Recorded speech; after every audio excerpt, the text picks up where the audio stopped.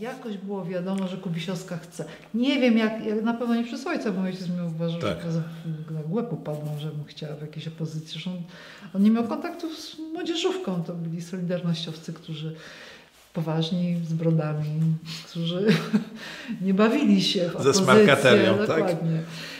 Więc y, i w pewnym momencie, tu już nie odtworzę przyczyn skutku, pojawił się, jak to było, kto go uruchomił, Kuba. Kuba, później się dowiedziałam po latach, nie od razu, że to nazywa Kubicz, się tak? Robert Kubicz, z którym się spotkałam pod piątką y, i, i on powiedział, że jest coś takiego jak Federacja Młodzieży Walczącej. Tak się zaczęło. Zaczęłam, zaczęłam ja budować struktury w tej federacji, ale to brzmi, ponieważ ja jestem kompletna noga, jeżeli chodzi o struktury.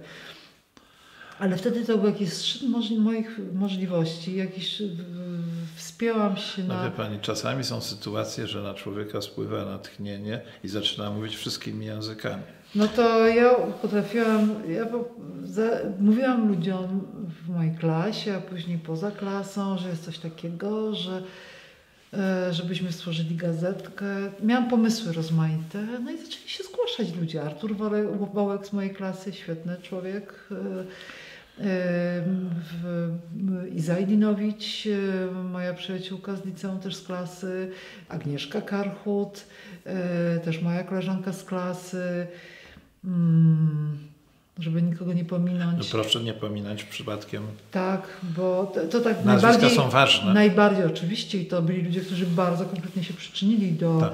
do działalności Federacji Młodzieży Walczącej, bo Agnieszka Karchut i Zajdinowicz zajmowały się kolportażem i odbierały y, książki i ulotki i, y, i książki ulotki z drugiego obiegu. I nie wiem skąd, bo to była właśnie się nie mówiło, gdzie idą, y, wiem... Ale jak złapały ten kontakt przez Kubicza?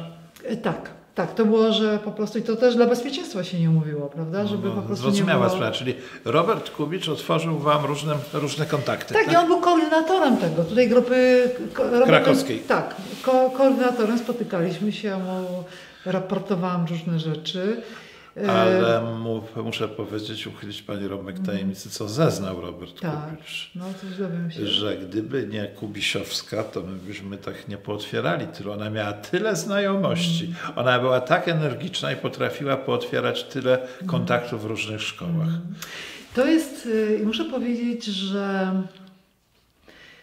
e, On na panią doniósł, że to pani wina, że ta federacja w Krakowie się tak rozrosła. Ale to jest tak, że ja rzeczywiście mam mnóstwo znajomych. I teraz jak Pan tutaj mi postawił to pytanie o żłobek i przedszkole, to jak ktoś jest z Krakowa, jest dość komunikatywny, lubi ludzi, lubi z nimi rozmawiać, nie tworzy barier, a ja po prostu miałam to wyniesione z domu, że tak się, tak się jest z ludźmi, to ma się mnóstwo znajomych.